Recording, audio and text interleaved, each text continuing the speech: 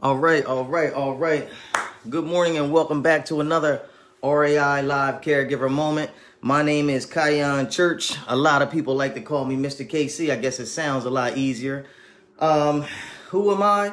I'm just a big-hearted caregiver, probably just like yourself. I know uh, only reason why you're here is to get these caregiver lessons, so we probably got a lot in common.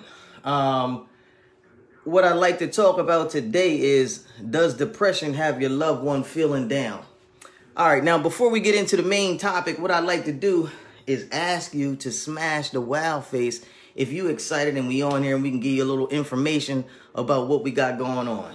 Um, also, leave in the comments if you're watching this live, say pound live. If you're watching a rebroadcast, say pound rebroadcast. All right. Also, don't forget, leave in the comments where you're from. Any questions that you got, let Mr. KC know, and uh, we'll try to address them. Now, listen, we're going to go into this depression thing a little bit. I got the dictionary over here. Uh, y'all can't see it once again, but listen, this is what it says. Uh, depression, their feelings of severe despondency and dejection. Uh, what is depression?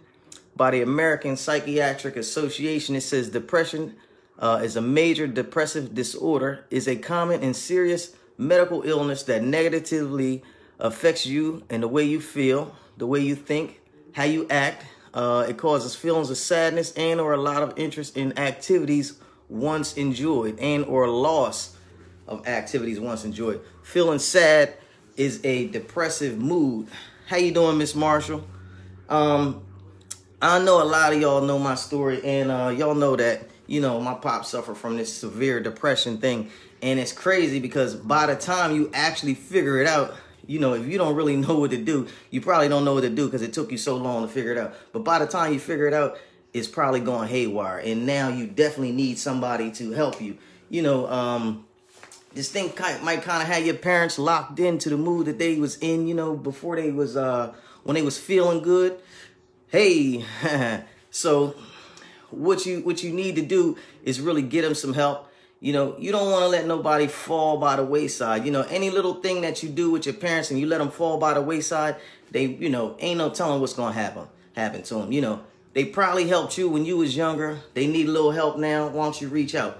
If you don't know what to do, you can call me 302-689-3240. Um, we got direct care workers that are specialized in helping people and, you know, depression is just one of the things that we work with. You know, we see it all the time. It's nothing for us. Maybe a lie for you, but you know, we know what to do. So smash the wild face if you feel like you're in the right place. Let me know your thoughts and feelings. Um, reliable aid, HTTP colon forward slash forward slash reliable aid dot info.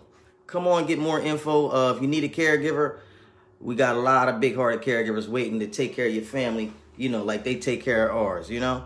So if you need help, we one phone call away. 302-689-3240. Smash the wild face. Let me know in the comments where you watching this from. Love to see you here again. I'm Mr. KC and I'm out. Thank you very much.